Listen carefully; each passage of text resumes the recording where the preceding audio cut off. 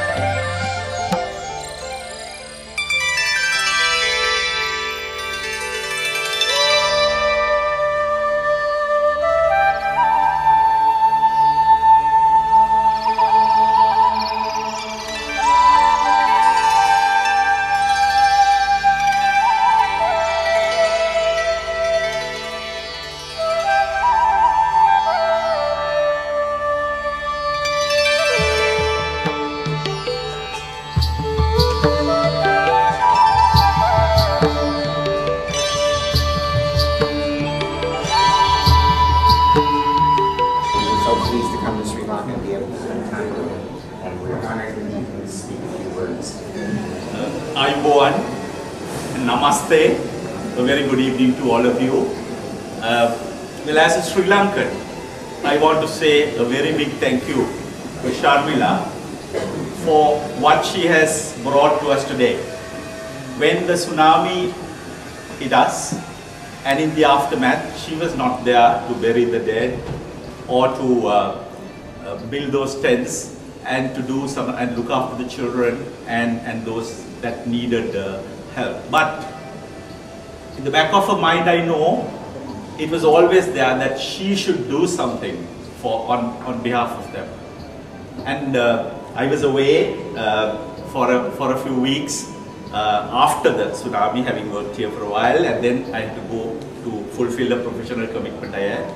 And she was sending me emails all the time saying, I now want to have the exhibition that I had planned to have later in the year, which she told me about uh, some time ago. And Sharmila, thank you uh, on behalf of all those who need, need everybody's help for what you had done, the sensitivity uh, and bringing the creativity you have. I knew Sharmila not as a, a painter, but as a dancer and a damn good administrator. if Transparency International or Transparency Sri Lanka wanted the chief executive, here's the person.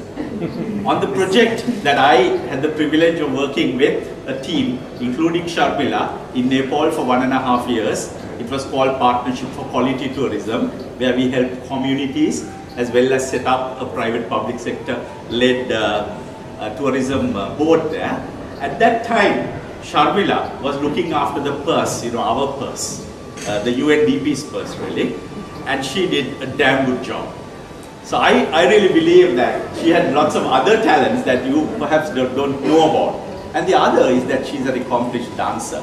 I have had many opportunities while I worked in Nepal and got to know Sharmila Scott and uh, Santosh and Shanti and all of them. Uh, at that time, I, have seen her perform and today, if she was to perform for us, I'm sure all of you will be thrilled.